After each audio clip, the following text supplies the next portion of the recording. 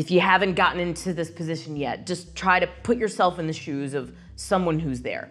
You spent possibly as long as a year, possibly more, preparing yourself for your MBA program, taking your test scores, redoing all your resume and getting recommendations, writing essays, interviews. It's like a whole journey. And you put so much love and effort into those applications. And now, hallelujah, you got more than one success, but you've only got one life, you've only got one body, you can only attend one MBA program.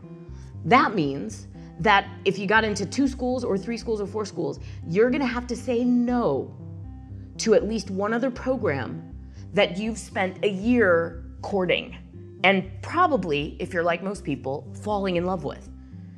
If you've gotten into more than one school, there's a very good chance that you don't immediately know which one is the best one for you or which one you should accept. And it's an agonizing decision because this door leads to one life and that door leads to an entirely different life. This is truly a fork in the road.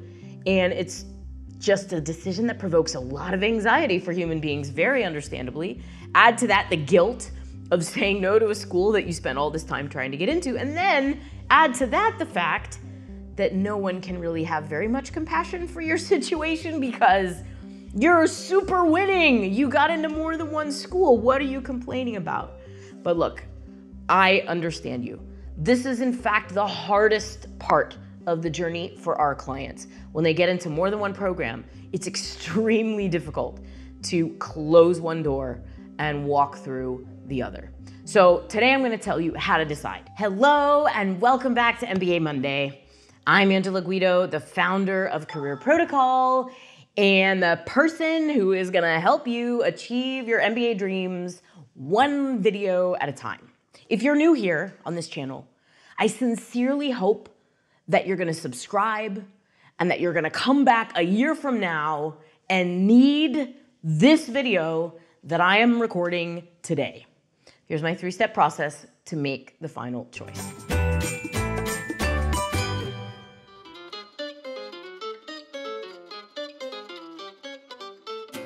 Step number one is to narrow it down to two schools. So you don't wanna be doing steps two and three with six schools or even three schools, if you got into three or four or five or more schools, work your way down to just two. That step should be reasonably easy. You're gonna pick your two favorite schools or the one that's highest ranked and the one that you actually like the most, or the one that gave you the most scholarship money and the one that's highest ranked. Get, boil it down to two. Get yourself into a position where you're really only deciding between one program or another. And then let the other ones go. Send them a note, say thanks so much. I've made other plans. Free up those spots so that your many peers who are on the wait list have a chance to gain admission to those schools. Just let them go. Now you're down to two. This is a big decision. And I really recommend that you make this decision. This is going to sound very cheesy for being on an MBA channel, but I recommend that you make this decision with your heart and not with your mind. I say that because, uh, first of all, all human decision making really comes down to emotion. That's how we organize our brain in the first place.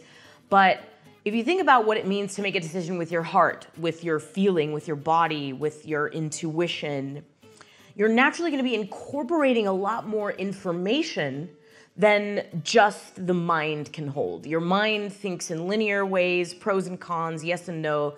It's quite digital, it's binary in the way it approaches decision making. And even if one school has a giant list of pros and the other one has a short list of pros, your heart may tell you that that second school is really better for you because of the intangibles, because of the way you felt when you were on campus, because of the way you envisioned your life and it made you feel happy on that on the on those campus grounds with that group of students. So you're gonna make the decision with a lot more information than just a pros and cons list. But step number two is to write the pros and cons list. You still want to let your mind do its job.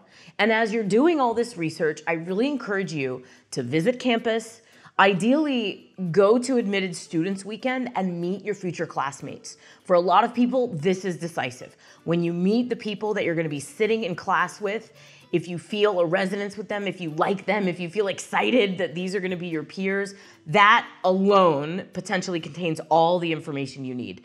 In my experience, when people visit campus and they participate in Admitted Students Weekend, the decision frequently is made right there. They know the right answer because of how they felt with their classmates. This was also my own experience. I was on four wait lists when I went to the Booth Admitted Students Weekend, and after even though I went to Chicago kicking and screaming, after I sat in class, met my classmates, and envisioned my life in an apartment in Chicago, I knew that Booth was the place for me, and I took my name off almost all the other wait lists. So talk to people, meet your classmates, visit campus, do all of that research. If step number two doesn't solve it for you, so if you do all of that for both schools that are on your list and you're still not sure, you're still not sure which school is right for you, then you wanna do step number three.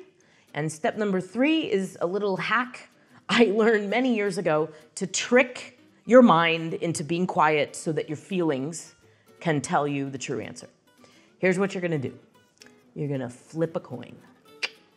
And you're gonna convince yourself, you're gonna pretend, and this kind of only works once, so you really gotta do it right. You're gonna pretend that whatever the coin says is what you're going to do. So if you're deciding between Booth and Wharton, you tell yourself, if it's heads, I'm going to Wharton. If it's tails, I'm going to Booth. And that's that. The coin will choose my destiny. Then you flip the coin and you see what the coin says. Let's pretend it lands up heads and it says, You're going to Wharton. Now, in that instant, pay attention to your feelings. How do you feel? You've just committed yourself to going to Wharton. Do you feel excited? Do you feel a burst of energy? Maybe a little bit of nervousness, could feel a little bit like fear, but it's like excitement. It's a positive feeling. Maybe you even feel relief. Notice if it's a positive emotion. If it's a positive emotion, then Wharton is probably the right school for you. On the flip side, maybe you feel a negative emotion when the coin tells you to go to Wharton. Maybe you feel deflated or suddenly it got a little dimmer in here. The world's a little bit smaller somehow. Or maybe you feel deep anxiety within you at the decision of going to Wharton. If that's the case, then good chance that Booth is actually the right program for you in this coin flip scenario.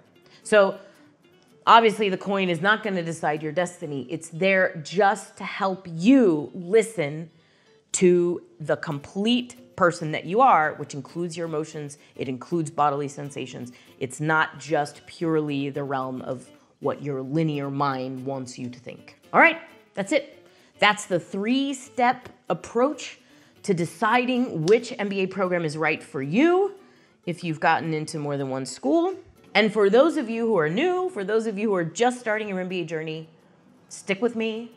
I'm gonna help you achieve your dreams one video at a time. Right here on MBA Monday. I'll see you next week. Here is my three step process. Always three steps.